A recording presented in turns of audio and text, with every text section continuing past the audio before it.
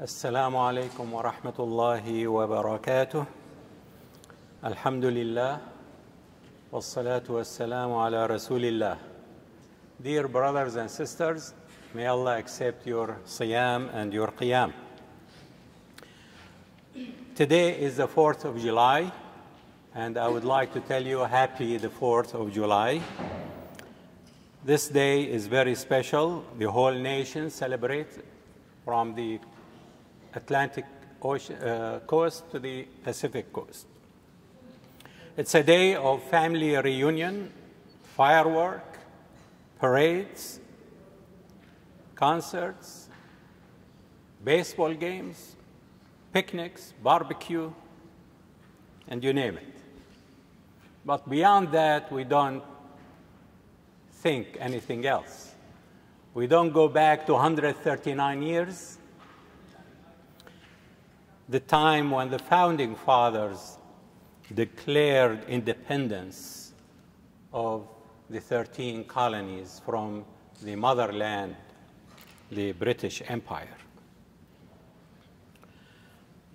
This day, where the Continental Congress met in Philadelphia, 56 of the representatives, they signed the document which we call the Declaration of Independence.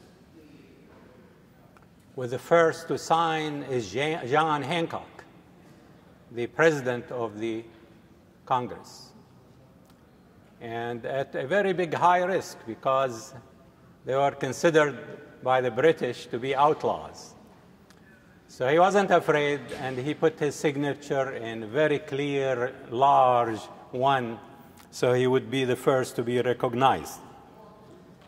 The one who drafted this great document, which is considered the most well known document in the English language, written by a committee of five people headed by Thomas Jefferson. And in it, it says, We hold these truths to be self evident that all men are created equal, endowed by their Creator with certain unalienable rights, that among these are life, liberty, and pursuit of happiness. And of course, this is the introduction. The rest of the document addresses the grievances of the colonies and uh, with the King George III of England. This document been cited by great leaders like Abraham Lincoln in Gettysburg speech and by Martin Luther King in the civil movement and the I Have Dreams speech. We all should read it and understand what's in it. John Adam, who was also on the committee who drafted this document, and he was the second president of the United States, sent a letter to his wife, Abigail. And in that letter, he said, This is a day of deliverance by solemn act of devotion to God Almighty. And this is, was the beginning of the Constitution and the uh, Bill of Rights and everything we know about this land, which is governed by laws. And the superiority of laws above everyone are treated equal and treated fairly and in justice. Those ideals, we need to study them and know them. And for those who are not here, we talked about them last Ramadan here, and they are on YouTube. We spent 30 days every day talking about one of the ideals or the moral values which has been taught by the Quran and the teaching of Muhammad sallallahu alaihi wasallam. And we mentioned and based that series on a study done in Washington University by some scholars. And they found that in their study that 50 countries apply the most of Islamic ideals from the Quran and the Sunnah of the Prophet Muhammad. And those 50 countries, unfortunately, only one of them, number 48, was a Muslim country. And the rest of these 50 countries were Scandinavia, Western Europe, United States, Canada, Australia, and New Zealand. It's very important for us to know what's going on, why we are what we are right now and in this condition. I read today on the internet that a big fair sponsored by one of the rich oil countries to promote Islam in one of the Western capitals. And uh, the welcoming committee, one man came and they wanted to explain to him about Islam and give him brochures and expensive gifts.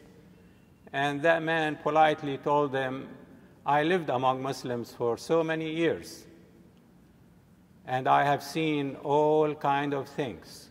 And he mentioned 20, 30 negative things of being, uh, uh, have no feeling about time or any punctuality, about lying, about cheating, about all things we know going on in the corrupted countries. He told them, You guys, instead of spending your money on this kind of, you need to educate your people and let them read the Quran and read the hadith of the Prophet Muhammad. So we need education. We grow up not knowing our own deen for one reason or another. We used to blame the colonial uh, powers which ruled most of the world and deprived the Muslims from knowing the Quran and the Hadith. Then came the dictators and despotic rulers and taught Islam in a very mutilated way, focusing on non important things or spiritual things and leaving the core which is the most important thing the, the ideals and the morals and the rule of law uh, above everyone, equality of conditions and equality of opportunity uh, for everyone. So we need to do a lot of work. And this day I know it's celebration and barbecue and having fun, but we need to go back to the books and read about the American Revolution about the ideals, compare it with the ideals of the Quran and the Sunnah of the Prophet Muhammad sallallahu alaihi wasallam. And then we understand the parables in the Quran where Allah subhanahu wa ta'ala told us, With this book I am taking you out of darkness to enlightenment. Allah subhanahu wa ta'ala is telling us, أَوَمَنْ كَانَ مَيْتًا فَأَحْيَيْنَاهُ وَجَعَلْنَا لَهُ نُورًا يَمْشِي بِهِ فِي النَّاسِ كمن كمثله في الظلمات ليس بخارج خارج منها Do you compare this one who is dead with this book we resurrected him and we made him walk with light among people is he like the one who is lost in darkness dear brothers we need to read the Quran. This is the month of the Quran and understand it. It's not enough that I am new in this religion or I am not Arabic speaking person. There's no excuses because our ancestors from all over the world, they learned the Quran in Arabic and they understood it. There's no excuse. Not laziness, not my age, not I am busy. This is the book, if you are dead, will make you alive. May Allah bless you all. Wassalamu alaikum wa rahmatullahi wa barakatuh.